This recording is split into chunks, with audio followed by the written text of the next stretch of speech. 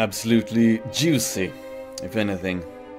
So I am quite certain that you're all tired of hearing me respond to various hit pieces since they're always about the same thing, but I thought to just, you know, flex a bit, talk about how great I am, and respond to the hit piece in the same video.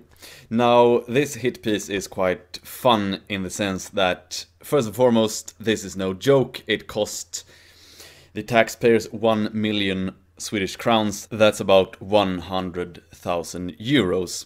And also, if anyone wants to even the score a bit, I do have a Bitcoin wallet if you want to support financially, if you think my work is better than their work. And also, the hit piece is labeled as a report. It's a report on right wing extremism and potential terrorism.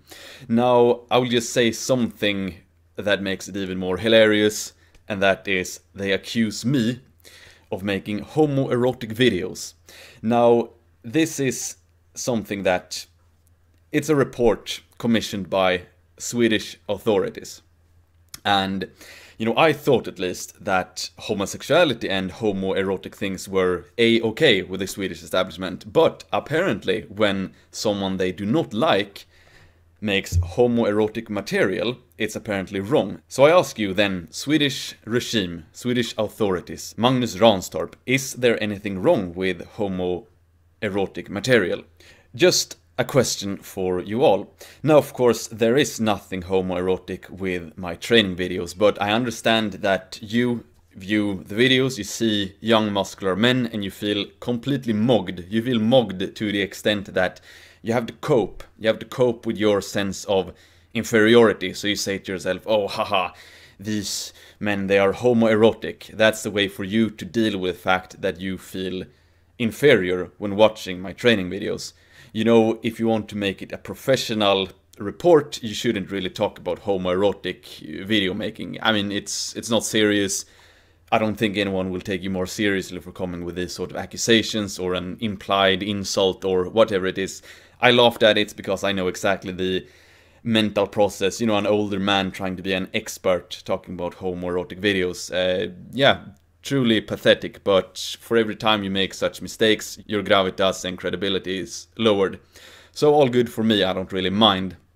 And if you think my videos are homoerotic, yeah, you might um, you might have some homosexual tendencies yourself if you are a regular straight man. You don't view them as homoerotic, you view it as training motivation, as is the intention. Now, anyway, on to the more serious issue at hand here, and I've talked about this before. I'll talk about it again.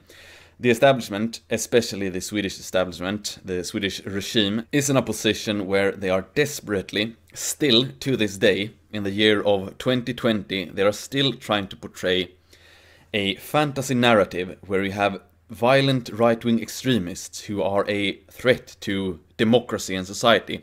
Now, of course, this fantasy scenario, it's extremely important for them to portray that gives them legitimacy. Now, of course, reality looks a bit different, and for me personally, and all other right wingers I know in Sweden, we have for a long time, I have lost count how many times I've said this, I am against political violence. Why? Yes, because it's a mistake. That is what they are praying for every single day. It wouldn't surprise me. They go down on their knees, pray to God, and ask for a right wing lunatic to make some sort of violent act so they have an excuse to shut us all down. They are not afraid of violence. They couldn't care less if some minority group dies. They couldn't care less. They care about their own power, and what is a threat to their power is our metapolitical message that we can spread our view of reality because it's more congruent with the actual reality regular people, they are afraid that their teenage daughters will get raped and that their teenage boys, their teenage sons, will also get raped and robbed and humiliated. That's the reality for Swedish families today. And especially after a summer full of these sort of attacks on Swedish youth.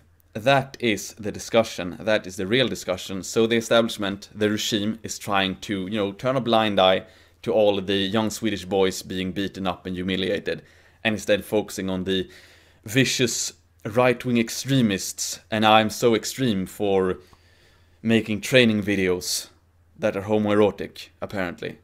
So you see, they are desperately trying to still portray this sort of fantasy scenario. And they are also doing this because they know we will fight back. And the and the way they want us to fight back is to commit impulsive, aggressive acts of violence. They do not want us to fight back intelligently. Fighting back intelligently means lawfare. If you want to do something for Western civilization, become a lawyer, take the fight into the courtroom, and that is something that they are afraid of. You know, journalists, if they are not careful, and I will start doing this, if I if I can get someone on defamation, I will take them to court because I know that hurts them.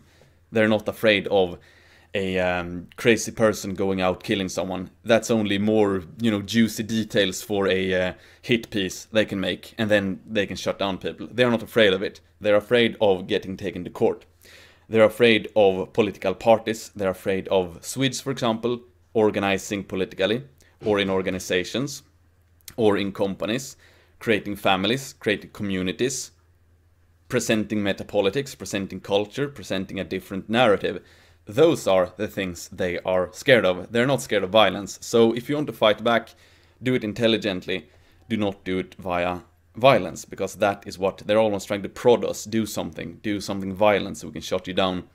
And again, I've said it so many times that I'm against violence. They're still, to this day, trying to present us right-wingers as um, a violent threat. But you know, many people will see this video where I, again, say that I'm against violence. They will continue to try to present me as a violent threat.